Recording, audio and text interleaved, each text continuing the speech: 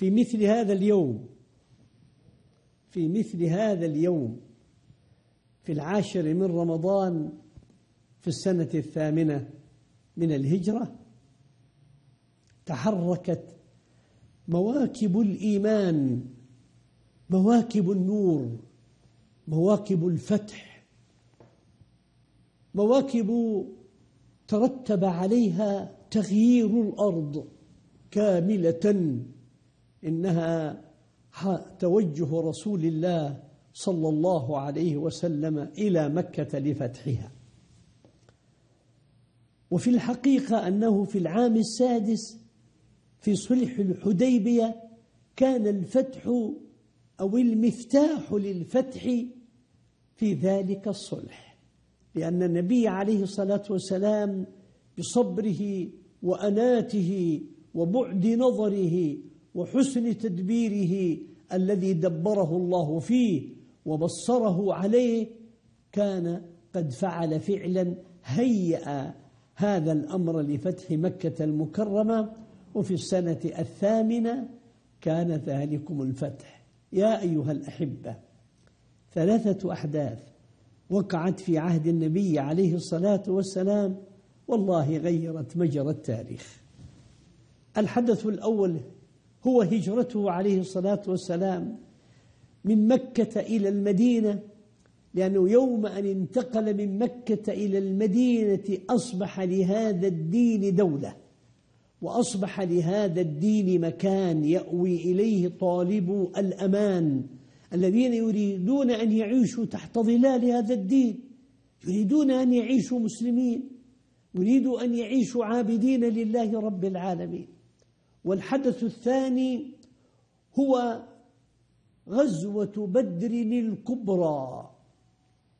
والحدث الثالث هو فتح مكة ومن بعده تغيرت أحداث الأرض. وانتشر هذا الدين في, في, في, في فياف الدنيا وجبالها ووهادها.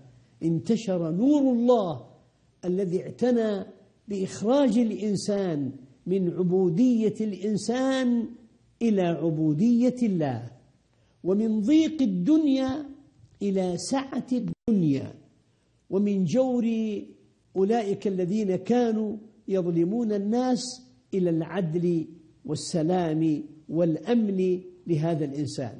من يقرأ تاريخ البشرية في القرن السابع الميلادي قبل بعثة النبي صلى الله عليه وسلم عربهم وعجمهم سيقرأ عجبا.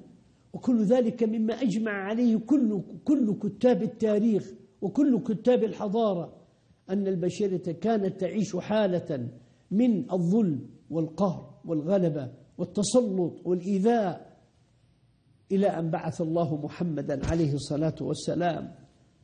فأرسى قواعد العدل ووضع نظام الخير والرشد وأن, يس وأن يقوم الإنسان بعمارة الأرض ولكن وفق منهج الله عز وجل. وقد كان ذلك. فلم يمض بعد هجرته عليه الصلاة والسلام أكثر من خمس وعشرين سنة إلا وقد أصبحت ثلاثة أرجاء المعمورة القديمة المعمورة القديمة عندما نقول المعمورة القديمة قبل أن يكتشف الناس الأمريكتين وأستراليا ونيوزيلندا أصبحت يعني تطبق عليه أو, أو, أو أصبحت بفضل الله تستنير بنور لا إله إلا الله محمد رسول الله وظهر فيها العدل. وإذا أردت أن ترى صورة من هذه الصور أنا أقدمها لك كصورة جلية واضحة. قبل وصول المسلمين إلى مصر كان هناك ما يسمى بالحرب الدينية بين الكنيسة الكاثوليكية والكنيسة الأرثوذكسية وقتل من المصريين المئات كما يقال كما يقول ذلك كتاب الحضارة وتاريخ الحروب الدينية. سلهم وهم يحدثوه. كانوا يأتوا بالرجل من المصريين ويضعوه في خيشة ويضعوه في مكان عالي. يقول تتحول إلى الكاثوليك؟ يقول لا فيرموه في النار وصاحبه بجواره يرى ماذا يفعلون به ومع ذلك لما دخل عمرو بن العاص ما أكره أحدا على هذا الدين ولا قال لأحد كن مسلما لكنه وضع فسطاطه وبدأ يمارس المسلمون حياتهم وخلقهم وصدقهم وعدلهم وكانت النتيجة يكفيك أن ترى تلك الصورة يوم أن تسابق رجل مصري مع ابن عمرو بن العاص. فسبق ابن عمرو فضربه بصوته وقال أتسبق وأنا ابن الأكرمين؟ فظهر ها خرج هذا المصري إلى المدينة يشكو ولد الأمير ولد عمرو بن العاص. فما كان من عمر رضي الله تعالى عنه وهو الذي يمثل العدل الذي تعلمه في مدرسة هذا الدين في مدرسة محمد بن عبد الله صلى الله عليه وسلم إلا أن يدعو عمرا وأن يدعو ولده من مصر. وأن يأتوا. فلما جاء قال يا مصري أو يا قبطي قبطي مصري والمصري قبطي. ترى كلاهما واحد. إياكم أن تظنوا أن القبطي يعني لنوع معين أو لطائفة معينة. لا لا كل مصري قبطي. فقال له يا مصري أو يا قبطي ماذا فعل ماذا فعل بك هذا؟ ما هي دعواك؟ قال تسابقت أنا وهو فسبقته فضربني فقال قال خذ الصوت واضربه كما ضربك. وأخذ الصوت وضربه حتى قال اشتفيت. قال زده. قال لا أخذت حقي. فالشاهد في الأمر رأى الناس العدل والرحمة والأمان والطمأنينة وكانت النتيجة أن يدخل المصريون كلهم في دين الله وأن تصبح مصر حصنا من حصون هذا الدين وستبقى إلى يوم القيامة. وكذلك غيرها من البلدان. لما خرج المسلمون من السند بعد ما فتحوها وحكم عليهم قاضي عمر بن عبد العزيز أن يخرجوا لحقهم الناس يبكون قالوا عودوا إلينا. فالشاهد في الأمر أن المسلمين انتشروا في الأرض لينشروا المحبة والسلام والأمان والعدل. وعاش الناس تحت ظل هذا الدين في أمن وإيمان وسلام وازدهرت الدنيا. وكان ذلك بإيذانه وبدايته مثل هذا اليوم. يوم أن خرج عليه الصلاة والسلام بهؤلاء الأطهار الأبرار من المهاجرين والأنصار ومن كان معهم إلى مكة لفتحها. خرجوا في اليوم العاشر وفتحت مكة في اليوم العشرين من شهر رمضان المبارك. بارك الله فيكم وتوالت الخيرات وسيبقى هذا الدين ما بقي الليل والنهار.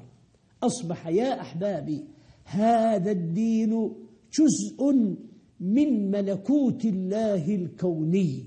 هذا الدين جزء من ملكوت الله الكوني. كما أنك ترى الشمس لا غنى لأهل الأرض عنها وترى الأنهار جارية تسقي الأراضي وتعيدها خضراء بعد قحل. بارك الله فيك. وكما ترى الجبال الراسية لتثبت القشرة الأرضية وكما ترى الأفلاك في مسراها لا تتغير إلا يوم أن يقول الله يوم نطوي السماء كطي سجل الكتب هذه هذا الملكوت في ثباته جزء منه شيء اسمه الإسلام الذي قال عنه ربنا عن عنه الرسول صلى الله عليه وسلم حق على الله ألا يبقى أهل, مي أهل بيت مدر أو وبر إلا أدخله الله الإسلام. بعز عزيز أو بذل ذليل.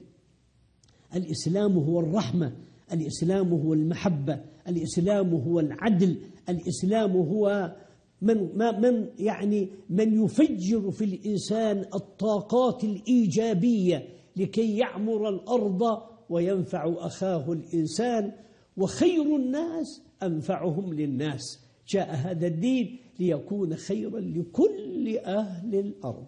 أسأل الله يجعلنا وإياكم ممن يجري على أيديهم الخير لأهل الأرض يا رب العالمين.